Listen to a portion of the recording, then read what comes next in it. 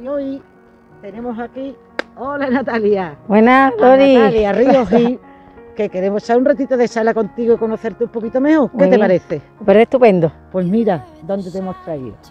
Creo que es un sitio que te va a traer muchas cositas a tu cabeza, te va a traer muchas emociones, porque estamos aquí justo en el monumento que se le dedicó a tu abuelo hace ya por el año 2000 creo, ¿no? Sí, exactamente.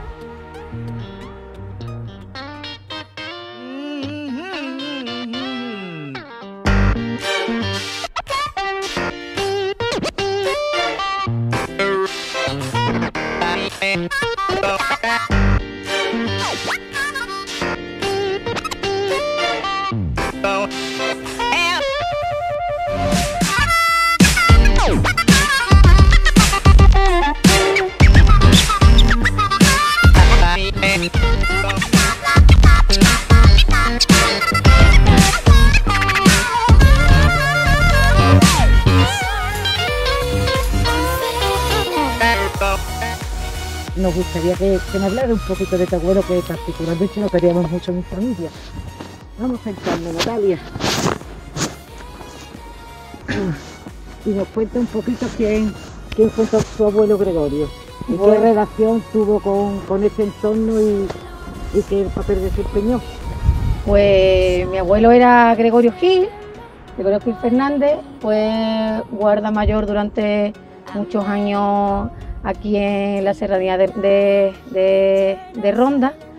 Él era una persona mm, muy cariñosa, muy especial. Yo, todo el mundo lo recuerda con mucho cariño porque aparte de ser una muy buena persona, era un, un gran profesional, amante de- de, De la naturaleza sus y- que nos consta, nos consta. y, y que enseñó mucho a, a- a muchas personas y le transmitió todos sus conocimientos y, y todo el trabajo que, que desempeñaba en, en su monte.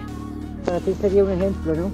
Hombre, para mí es un ejemplo, yo para mí es, es una de las personas más importantes de mi vida. Mm, Mi madre, mis padres eran muy jóvenes cuando, cuando yo nací y, y- y él me cuidaba, me cuidaba muchísimo, me gustaba irme con él con, a Ronda con mis abuelos los fines de semana. Yo me acuerdo cuando íbamos de, del Burga a Ronda por la carretera y, él me, mostraba todos los paisajes, nos parábamos en, determinados puntos y me decía, pues mira, aquí está el Monte La Ventilla, nos parábamos en una curva donde se veía, donde se veía Cañete, íbamos, recuerdo que a mí me gusta mucho Antonio Molina porque él siempre, siempre me ponía Antonio Molina en el coche y cantábamos juntos.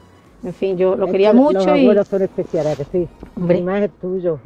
y, y nada, él, él antes de él nom- lo nombraron guarda mayor porque por el año 78 eh, tenían que destinar a alguien a, a- a Melilla a hacer unas obras de, de restauración, de, de de- protección de, de- de prevención de inundaciones y él pues se fue como, como voluntario. En el 78 estuvo allí un año, entonces en el 79 cuando volvió le dieron el mérito, la medalla del mérito agrícola y lo nombraron guarda mayor de, de la serranía de, de Ronda. Y nada, hombre, eso dice mucho de él De él, sí. y de su pasión por, por su trabajo. Y es verdad. Algo de eso te, te has quedado a ti también. que ahora nos vas a hablar un poquito porque tú qué fue lo que estudiaste, Natalia. A ver, yo, yo estudié, eh, primero estudié ingeniero técnico forestal y luego estudié ingeniero de monte. Yo cuando, cuando en, en realidad nunca pensé estudiar este- esta carrera. No, yo creía que tenía que había tenido que ver algo con, con lo de tu abuelo. No, a ver, yo vengo de una familia forestal, mi abuelo, como he dicho, era guarda mayor, guarda forestal, mis tíos son guardas forestales, eh, en fin, pero mm, yo cuando era niña, pues como muchas niñas querían ser peluquera o querían ser Yo maestra, no quería ser astronauta. Yo yo no quería ser astronauta. pero mm, eh, me gustaba muchísimo la ciencia, me gustaba las matemáticas, la física.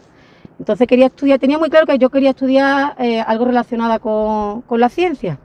Y cuando estábamos en, en segundo bachillerato, que ya te tienes que decantar por, por una carrera, pues hablando con la orientadora, pues me dijo, bueno, ¿cuáles son tus hobbies? Aparte de que te guste las matemáticas, digo, me gusta mucho la, la naturaleza, me gusta mucho ir al campo. Dice, bueno, pues vamos a buscar una titulación que esté relacionada con, con esa materia. Y, vimos que existía la ingeniería técnica forestal. Entonces hablé con mis tíos y mis tíos al principio se mostraron un poco así como diciendo, esta niña cómo va a estudiar esa carrera, no nunca ha mostrado carrera típica también de hombre, ¿no? No, pero no por eso, sino porque yo tampoco había mostrado interés en, eso, ¿no? mucho interés eh, en eso. Eh, y al final pues me animaron, me apoyaron mis padres, mis tíos y hablé con, con Cantero, que, que le estudió también ingeniero técnico forestal y luego estudió ingeniero de monte y, nada, y decidí estudiar esa carrera y la verdad que, que superó todas mis expectativas, me gustó muchísimo, aprendí muchísimo y, y nada, y ahora yo te quería también hacer un inciso, porque la segunda carrera la estudiaste ya con los tres niños, ¿no? Bueno, no. ¿O cómo fue? Yo primero estudié eso. Porque para mí tiene un mérito. Saca una carrera después ya que estás casada, que tiene tus niños, te pones a estudiar la otra y la sacas con dos ovarios. A ver, porque, a ver, yo quería, yo quería estudiar ingeniero de monte. Lo que pasa es que me habían dicho que era una titulación muy, una carrera muy, muy dura y tenía la opción de, de estudiar primero la diplomatura, que era de tres años, y luego si quería seguir estudiando, pues hacer eh, eh, ingeniería de monte, que eran otros tres años. Entonces pues decidí empezar en, Huelva, terminé, pero terminé en noviembre, cuando ya eh, el curso estaba empezado. Entonces pues decidí dejarlo para el siguiente año, ya empecé a trabajar y, tú sabes, ya empecé a trabajar, tienes tu vida, pues decidí aparcar la, no, no, no, no matricularme en monte. Y en, el año 2009, mis amigas de, con las que estudié, mis compañeras de Huelva, eh, se matricularon en Monte y vi la oportunidad de que, aunque yo estaba trabajando, tenía la oportunidad de que ellas estaban allí, que me podían pasar los apuntes y que me iba a facilitar todo mis estudios y no tenía por qué dejar de trabajar. Pero en 2010, en enero de 2010, me quedé embarazada de mi primer niño. Entonces, ahí tenía que tomar una decisión si continuar con, mi con mis estudios y, llegar a ser ingeniero de monte, que era lo que yo quería, o, dejarlo y dedicarme a mi trabajo y, al cuidado de, mi futuro hijo. ¿Y al final cómo pudiste y al, y al final, pues yo pensé que, no tenía por qué dejar de estudiar y tampoco tenía, y, porque, a ver, me, quita, me quitaría tiempo para cuidar de mi niño, pero una cosa no quita la otra. Entonces tenía el apoyo de mi familia, tenía el apoyo de, mi pareja y, decidí seguir adelante. He tardado un poquito más de lo previsto, pero bueno, luego es, verdad que estudiando la carrera, después tuve a mi segundo hijo y, Triana, cuando leí el proyecto Fin de Carrera en Monte, pues estaba ya embarazada de, de, Triana. pero vamos, que yo no he tenido ningún problema porque he tenido muchísimo muchísimo apoyo de mi marido de mis y de mis padres. dice que detrás de cada gran hombre hay una gran mujer, pero detrás de cada gran mujer que te considero también tiene un totalmente. Yo tengo un gran hombre. Tengo Silvestre. Un marido que vamos, es compañero, que es lo sí, que sí, sí, sí, nosotros exactamente. Nosotros somos un equipo, y tenemos muy claro lo que lo que queremos y que nadie es más que yo no soy más que él ni él más que nada más que yo somos un equipo tenemos nuestros niños tenemos nuestra casa y tenemos que compaginarnos para que para poder ser felices exactamente. el trabajo. Entonces él me apoya a mí yo lo apoyo a él en, todo lo que todo lo que queremos. Natalia tú actualmente qué estás trabajando pues yo ahora mismo soy técnica de, apoyo al, al espacio natural protegido aquí aquí en Málaga. Yo trabajo en el, en el Parque Nacional de, la Sierra de las Nieves y nada, no me puedo sentir mejor. Cuéntanos un poquito qué, es lo que desempeña, en qué consiste tu trabajo, que es que yo me quiero enterar de sí, sí. Pues mira, eh, nosotros como técnicos de apoyo a espacios naturales protegidos, pues realizamos mm, diversas, diversos trabajos, desde conservación y restauración de ecosistemas, seguimiento de flora y fauna, eh, gestión del, y regulación de, del uso público. Después también apoyamos para el trámite de, eh, autorizaciones de actuaciones que se desarrollan en el ámbito de, los espacios naturales protegidos. En fin, mm, todo lo que mm, está relacionado con la gestión de, de un espacio natural. Bueno, como veis, Natalia es una mujer que hace muchas cosas. Y es muchas cosas, pero sobre todo eres madre. Eres madre. Y, una madre que, yo te considero porque le inculca a tu hijo el amor a la naturaleza. Y le está inculcando unos valores a los niños que, eso no se aprende en la escuela, eso se aprende en el seno familiar. Y son tan mira porque son niños que están comprometidos, igual que tú, porque tú eres, vamos a dejar un poquito a los niños y me vas a decir, tú eres presidenta de, no. No, ya no eres presidente. No sido. ¿Has sido presidente? No, no he sido. No he sido nunca, pero estamos relacionados. Sí, yo estoy la directiva, te refiero a los bandoleros. A los bandoleros, pasión bandolera. Yo estoy la. Por eso me tienes que informar, ¿eh? Sí, sí, a ver, yo estoy la directiva de, mm, la asociación Pasión Bandolera de, del Burgo. Eh, desde que entré, pues soy la secretaria. Y, y claro, yo creo que cuando una persona se decide de, formar parte de, una asociación, pues hay que, involucrarse y trabajar desde dentro. Entonces, pues decidí formar parte de, la, junta directiva. Bueno, yo. Niño, porque a ver, yo. Niño, la primera carrera, yo me acuerdo que, una de las primeras carreras para lo que se hace del grupo, para lo del cáncer, llevabas tu Adriana en tu mochilita y tus niños que, que, andan como si fueran correcaminos y son niños que estamos involucrados en todo. Hablan un poquillo de los diablillos esto que tienes A ver, porque, a ver, es, lo que te he dicho antes, cuando yo tenía que elegir qué hacer, si dejar la carrera o no.